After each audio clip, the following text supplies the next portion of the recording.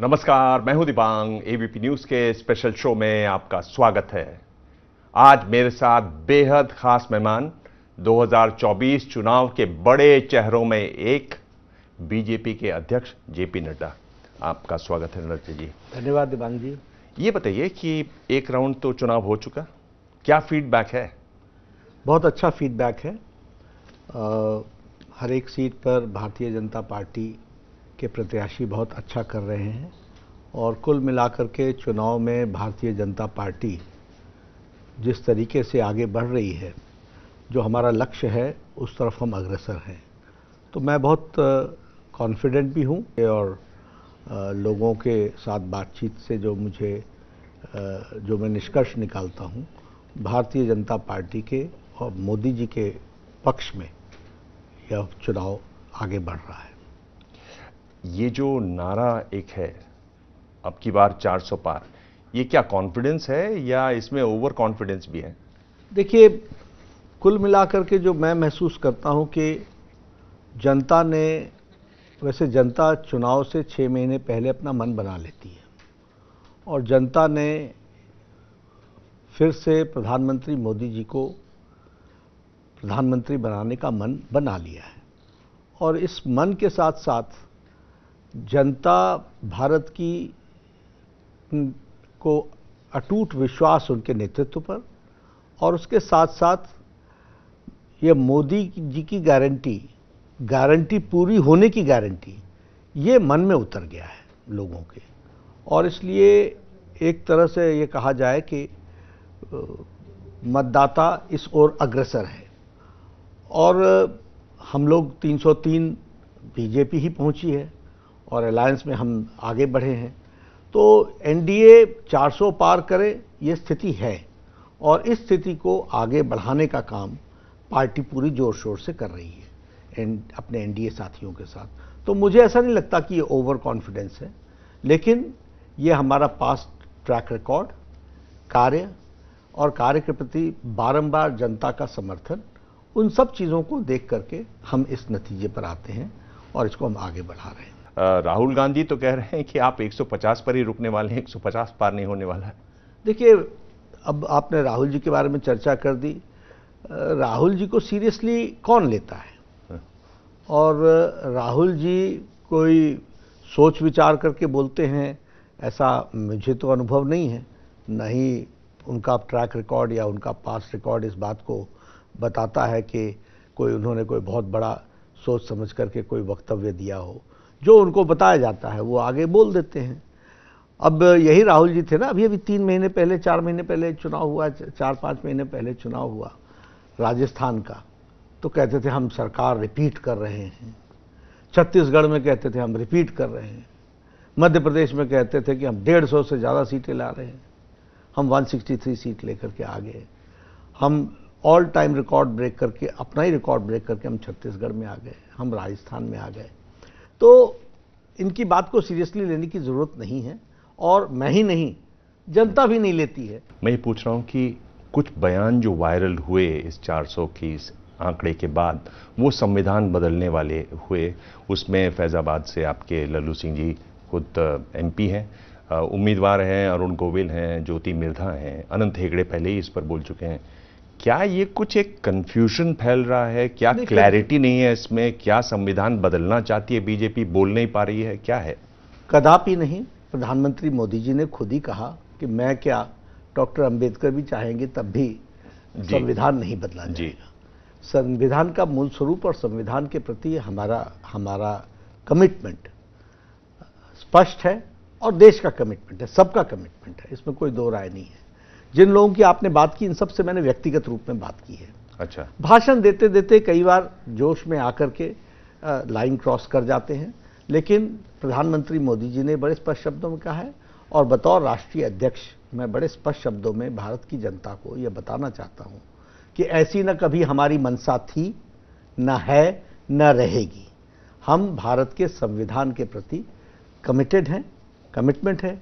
ये आप भी जानते हैं कि कॉन्स्टिट्यूशनल अमेंडमेंट्स कभी कभी आते रहते हैं वो एक अलग चीज़ होती है। लेकिन संविधान के मूल स्वरूप और संविधान की मूल रचना इसके प्रति भारतीय जनता पार्टी और भारत की जनता कमिटेड है और हम उसके साथ पूरी ताकत के साथ खड़े हैं। इसलिए आपके माध्यम से आपके चैनल के माध्यम से आपने बहुत अच्छा प्रश्न पूछा।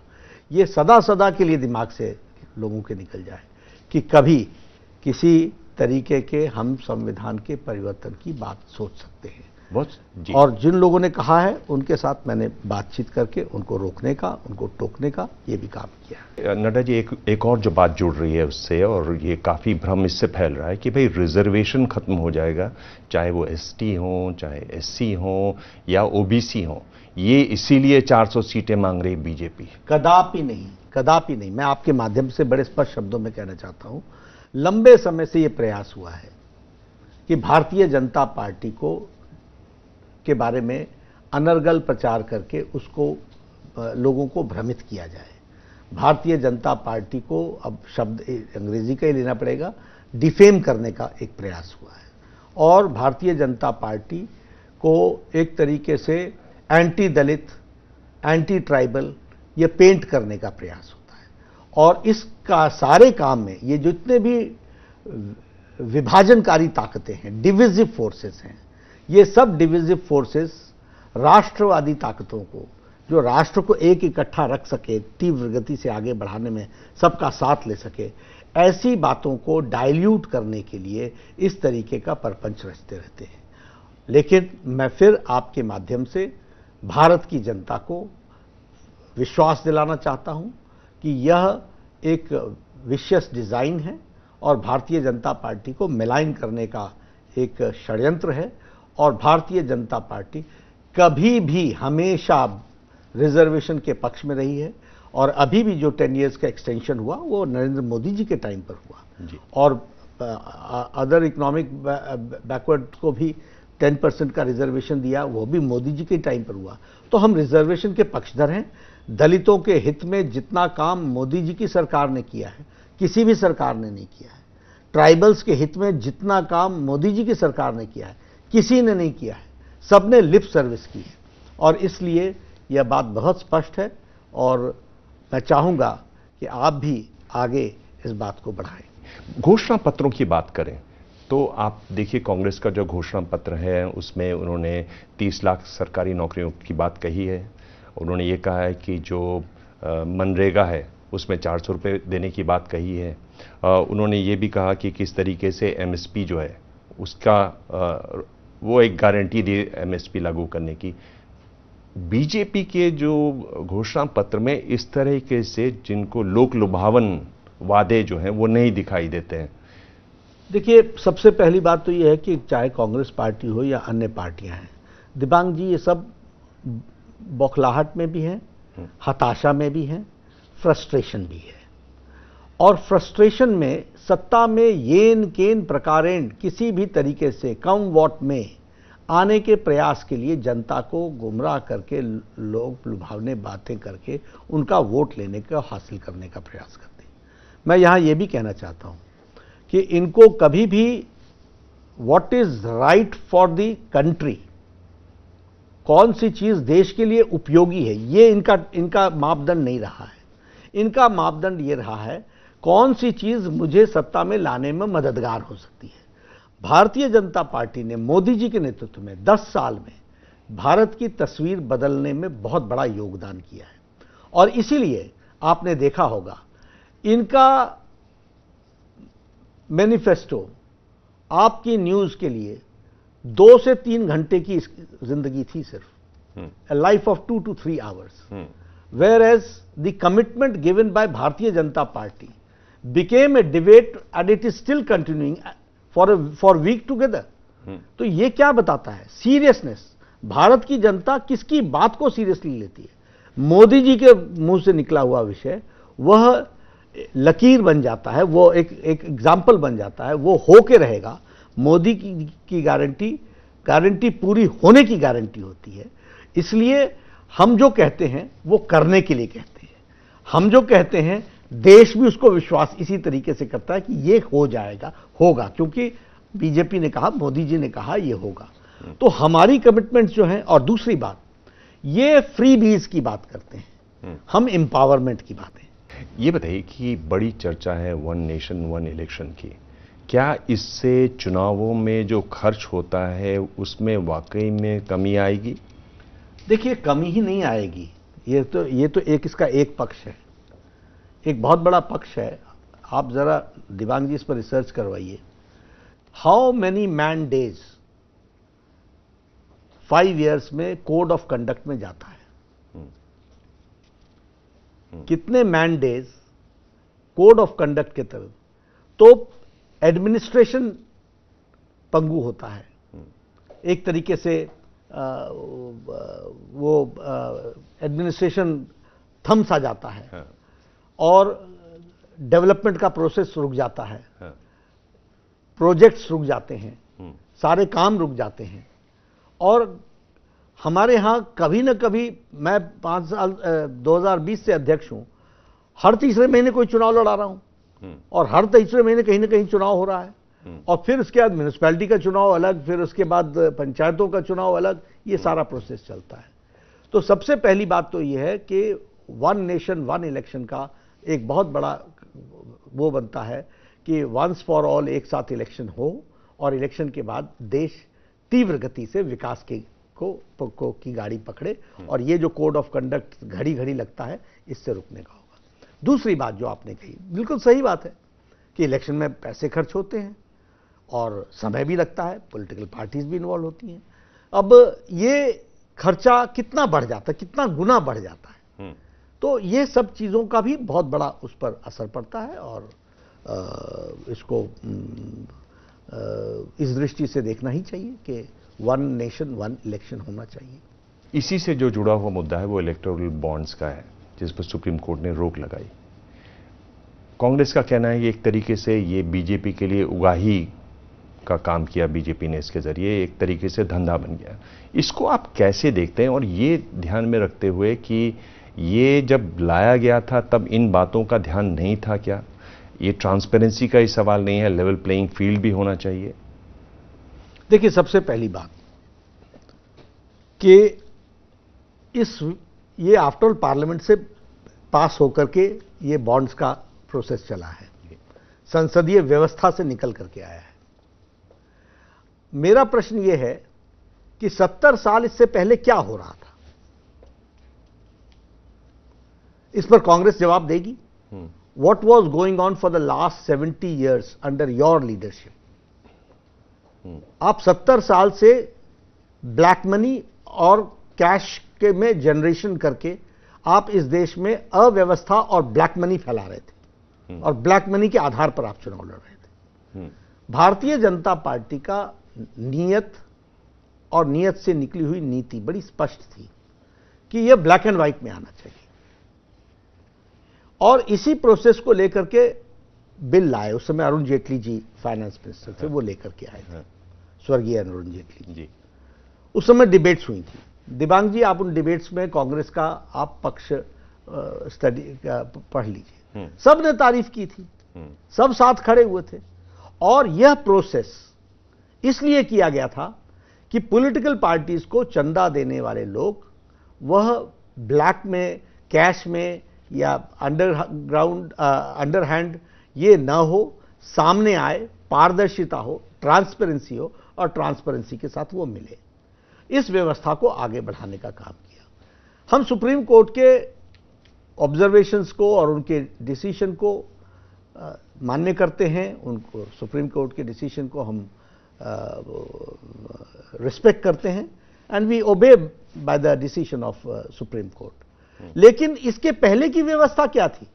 और कोई नई व्यवस्था आई है तो उस नई व्यवस्था में कुछ खामियाँ होंगी। उन खामियों को आज जो आप जो चर्चा कर रहे हो इसका पैसा उसका पैसा ये आप क्यों कर पा रहे हो? ये इसलिए कर पा रहे हो क्योंकि इन कंपनियों ने बॉन्ड्स खरीदे हैं। तो अब इसमें से जो व्यवस्था निकली है उसमें सुधार होने की गुंजाइश हमेशा रहती है। हम लोग इसीलिए तो अमेंडमेंट्स पे अमेंडमेंट्स लाते रहते हैं क्योंकि जो हमको पब्लिक की फ़ीड से पब्लिक से जो फीडबैक मिलता है उस पर हम काम करते हैं। एक कैंपेन चल रहा है दिल्ली में कि जेल का जवाब वोट से है। आम आदमी पार्टी कैंपेन चला रही है। आपने मुख्यमंत्री को जेल में बंद कर दिया है। क्या दिल्ली की सात सीटें हैं सातों आपके पास हैं क्या उसका असर आपको दिखाई देगा चुनाव में? देखिए सबसे पहली बात तो ये है कि जेल का जवाब वोट से। इसी को हम पहले हिट इसी को हम दिल्ली की जनता के सामने स्पष्ट रूप में रखे रहे हैं और रखेंगे। जेल का जवाब वोट से नहीं भ्रष्टाचार का जवाब वोट से देना है। और वोट भारतीय जनता पार्टी के पक्ष में जाएगा। सातों की सातों सीटें भारतीय जनता पार्टी जीतेगी। ये जो सिंपथी बनाने की कोशिश कर रहे हैं, कहाँ से, क्या, मेरे ख्याल से ऐसा हिपोक्रेटिक लीडर और ऐसी हिपोक्रेटिक पार्टी मैंने आज दिन तक नहीं देखी। मैं चुनाव नहीं लड़ूँगा, मैं पार्टी नहीं बनाऊँगा, मैं मकान नहीं लूँगा, मैं ये मैं मैं बंगले नहीं लूँगा मैं मनीष मैं भी तेरा सगा नहीं लगता। मेरे को भी जेल में डाल देना। है? मैं फलाने की नोक पर रखता हूँ अपनी सरकार इसको मैं इस्तीफा दूँगा। आज जेल में बैठ करके सरकार चला रहे हैं। ये काहे का और और, और कोर्ट ने कह दिया कि court does not function on political considerations. राजनीतिक कंसिडरेशन पे कोर्ट फ़ंक्शन नहीं करता है। कानून कानून की भाषा में जवाब देना होता है। सुप्रीम कोर्ट ने कह दिया मनी ट्रेल है। और हाई कोर्ट ने बेल देने से इनकार कर दिया। अब सिंपथी दिल्ली की जनता बड़ी समझदार है हम्म। जानती है और उन तक सारी बातों को सही रूप में रखने में भारतीय जनता पार्टी सक्षम है। इसलिए भारतीय जनता पार्टी इस काम को करेगी। आखिर में मैं ये पूछ रहा हूँ कि चार जून को जब नतीजे आएँगे उसके बाद फिर आपका टर्म भी अध्यक्ष के रूप में खत्म होने वाला है। क्या आप दोबारा से केंद्र में मंत्री के रूप में दिखाई देंगे? देखिए दिव्यांग जी हम मैं कभी भी और हमारे यहाँ सबको मैं मैं ही समझाता हूँ हम्म। कि आप कभी भी किसी को किसी भी तरीके से अपने रोल के बारे में मत तय कीजिए। आपका काम है पार्टी की सेवा करना। तो मैं पार्टी की सेवा कर रहा हूँ करता रहूँगा। और मैं एक बात और भी बता देना चाहता हूँ कि अध्यक्ष न रहने के बावजूद भी इसी ताकत के साथ, पूरी ताकत के साथ पार्टी के लिए काम करता रहूँगा। इसलिए पार्टी जो भी जिम्मेवारी देगी, मैं करूँगा। मैं दो बार मंत्रिपरिषद से बाहर आकर के पार्टी की हमने सेवा की है। जब पार्टी ने आदेश दिया तो मैं पार्टी के लिए काम करता हूँ। जब पार्टी ने कहा कि सरकार में जाओ तो मैं सरकार में जाता हूँ। लेकिन मेरा काम है कि पार्टी को पूरी ताकत देना और मैं मंत्री रहते हुए भी सबसे ज़्यादा प्रभारी प्रदेशों का मैं ही रहा। जम्मू कश्मीर से लेकर केरल तक का मैं प्रभारी रहा बतौर मंत्री होते हुए भी। तो पार्टी मेरा फ़र्स्ट लव है फ़र्स्ट अफेक्शन है तो उसको हम पूरा करते हैं इसलिए जो भी हमको पार्टी तय करेगी मैं करूँगा। नड्डा जी बहुत बहुत धन्यवाद। आपने सभी सवालों के जवाब दिए सीधे जवाब दिए और इतनी बड़ी पार्टी आप के अध्यक्ष हैं और जिस तरह से आप संयम से बात करते हैं अब हमने ये तो सुना कि आप कभी कभी फ़ोन पर गर्म हो जाते हैं, वो चेहरा तो नहीं दिखाई दिया, पर आपने बहुत संयम से जवाब दिया।